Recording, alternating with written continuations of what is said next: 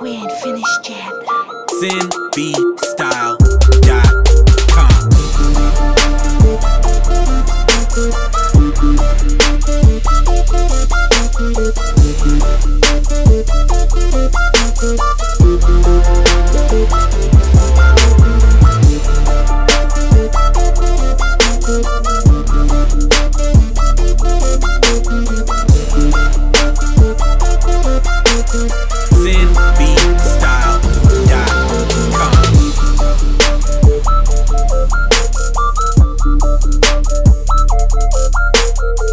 Thank you.